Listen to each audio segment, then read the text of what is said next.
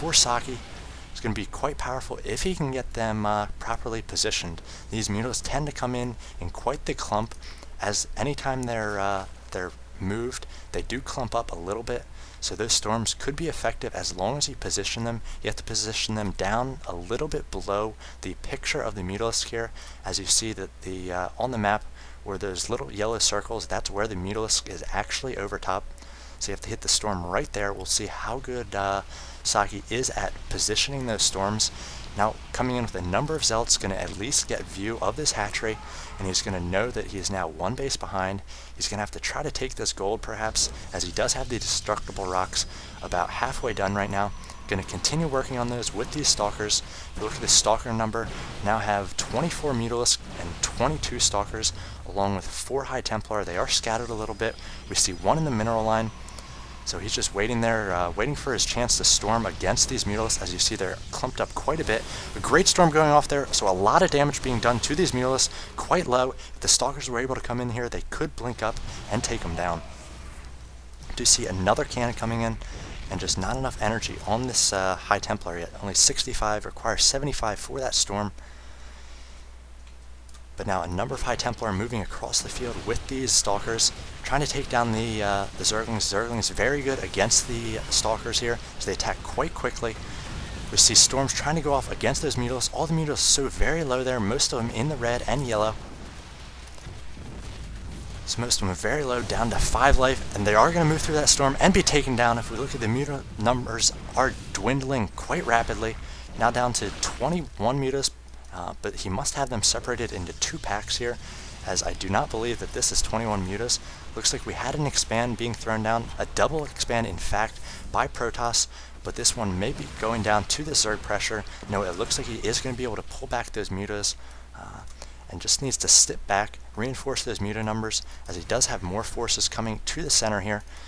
So he does have 25 mutas again, compared to the 8 Stalkers and the 5 Templars, so not much of an army for Socke right now. Just 1650 compared to the 3550 of Sen. So Sen's able to move in here, we see some good storms, but quickly moving out of the storms, the Mutalisks are, and now going to try to focus down these Stalkers.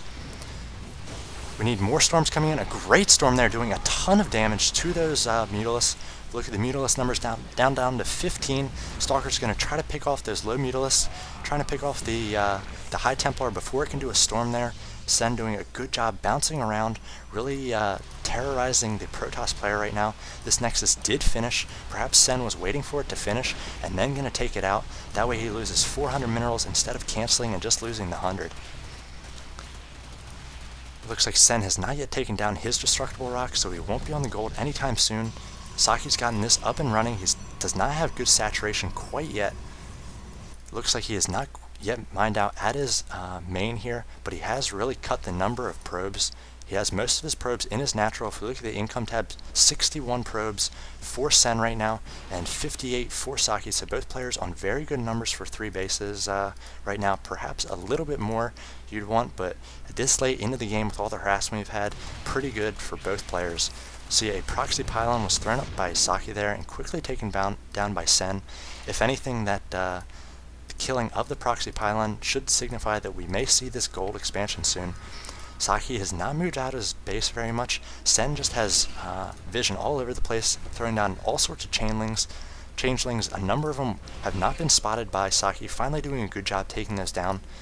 And moving out with these High Templar, they're very low on energy right now. He needs to warp in a few of these and let these guys get high on energy so he can throw down multiple storms. Those Mutalisks are just being torn apart by the storms right now. We do see Zealots do not have leg speed yet. Throwing up the production tab, it looks like we have four Ultralisks on the way. For Sen, also moving these uh, Spine Crawlers out to be offensively here. Going to be able to guard a number of bases with those. Now, tons of Storms taking care of those Zerglings, but the Storms did not take down the, uh, the Mutalisks all the way. All of them very low life. These Zealots are going to be picked off by these Mutalisks. Now, turning around does not have enough energy with this High Templar to take on another Storm. The Stalker's reinforcing, going to try to pick off these uh, these Mutalisks. Storms are not going to be the answer for these Ultralisks, though, as they do have 500 life. See, 2-2 upgrades for Sen right now, not even been able to keep up with the upgrades of both players. Looks like these mules coming in, taking more and uh, more pylons down for Socke. If we look at the units lost tab, 17,000 so far compared to the 13,000 of Sen. Again, all these mules very low. One storm could eradicate them all. See the Nexus getting very high on energy right now. Uh, he's very low on resources though, so he cannot do any sort of warp gate chrono to pump out more stalkers or high templar right now. He does need to establish another base, whether it's down here, perhaps getting up a base over here. He does have a warp prism up, so he could get a uh, a probe over here. It looks like he did drop that probe, so we will have a pylon warped over here. Going to be able to warp in a, a, little bit of defense against Mutalisks, or perhaps a few cannons, and then investing in a Nexus here eventually. We see these Ultralisks moving forward again. A great storm, able to take down a number of those Mutalisks, but just so many Ultralisks right now. The Immortal is the good response to the uh, Ultralisk, doing bonus damage with these two upgrades, 60 damage against those Ultralisks. Not really sure why I didn't move in with those Ultralisks. I don't think there's much of a uh, army for Socke right now. Just 2,200 compared to the 4,000 of Sen. I would move for it if I was him. These Ultras are not going to be... Uh, not going to be able to uh, be taken down by these few immortals. Just two immortals right now for Socke. If you look at the income tab, uh, Protoss down to 900 minerals per minute compared to the about 900 of Sen though it looks like we just had a, uh, a warp prism drop. He uh, did warp in a number of Templar here, and my guess is he did some storms, as we see a few of these drones have a lot of damage, but with the high drones uh, still here, I imagine he didn't take too many kills there. So it looks like he is doing some warp prism harass at these bases, not yet saturated here at the gold, so it is going to take his warp prism a different way. We see Socke moving across the map now. He did morph in some Archons here. Archons very good against Biological, with the plus 2 upgrade doing 43 damage, so they are going to be good against those Ultralisks, and they are going to be able to tank a little bit for these Immortals and for the, uh, the Templar in the back. So if we look, a ton of Ultralisks out now. Look, 16 Ultralisks on the field. He's gotten away from the Mutalisks a little bit, just 3 Mutalisks, but just 16 Ultralisks are going to be able to plow through anything on the ground that Socke has. These Templar no answer for the Ultras, Again, 500 life, these 2-2 upgrades. So we're going to see an encounter here. No, it looks like we're going to have more Zealots and High Templar warped in here. Great Storm's taking down all sorts of drones this time. So taking down basically half, more than half of the drones that were on this uh, this expansion here, and he did have to pull back with his Ultralisks. So Sen, not really sure about his uh, passivity here or passive nature, not even sure if that's a word at this point. Uh, he should be pushing out as he does have the superior army. 5,700 compared to the 3,600 of Socke. Plus he's tier 3 at this point, so so much more powerful. We have a number of storms going off. Again, not making much of a dent. These front uh, Ultralisks Socke doing a very good job fighting in this position and positioning those Immortals in the front. All this uh, Ultras cannot get in here. Finally we see a better concave being positioned by Sen here, but again, still tons of Ultras in the back which are not able to attack. And he's losing all of those Ultras being focused down quickly by those Immortals, doing 60 damage uh, apiece, so fewer than 10 shots able to take down those Ultralisks. See another Changeling coming out for Sen, in fact three. Gonna try to keep uh, eyes on this Protoss army. I cannot believe that Sen uh, was rebuked there by Socke. He did have a number of cannons, and he does have these four Immortals, but uh, great job fighting at this choke point. The Ultralisks really got bottled up. One of the downsides to the Ultralisks is they're just so massive. Uh, they cannot get a good surround on these units. He also did not attack with any Zerglings. The Zerglings at this point in the game are just going to be extra DPS for those Ultralisks as the Ultralisk tank. We do see Zerglings now coming out for uh, for Sen, and he is loading up an Ultralisk as well as a bunch of Zerglings, so not really sure where he's going to go with this. Looks like we do have a Warp Prism transferring more probes down to this expansion here.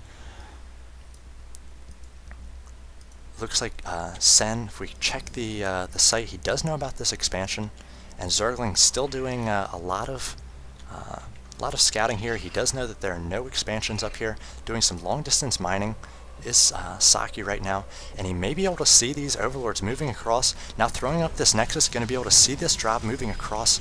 to this island expansion is going to be able to cancel this Nexus or at least take down the Zergling. Might actually leave that Nexus now that the Force are there to protect.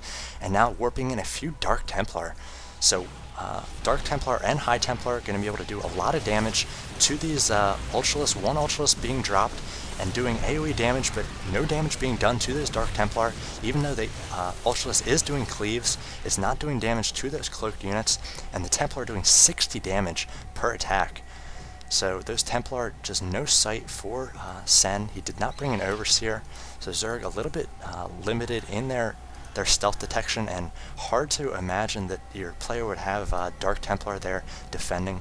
But brilliant uh, build there, and brilliant play from Socke, defending that pretty easily. And Sen lost a ton of units, as we see the armies are a little bit more even now, 4,800 to 4,000. Sen does have these uh, this creep here and the spine crawlers, five offensive uh, spine crawlers here, not quite offensive, but defensive in the fact that they're guarding all five of the Zerg bases right now. Looks like the Ultra Ultralisks are moving to the side, perhaps to get a flank with these uh, these spine crawlers if the Protoss player moves up through here. Looks like we ha now have six Immortals, great counter to those Ultralisks, as well as an Archon and a number of High Templar, all with very high energy, able to throw down multiple storms. Looks like at least 10 storms could be thrown down. So he's going to be able to take care of any sort of Mutalisks, any sort of Zerglings, as Storms do very well against those.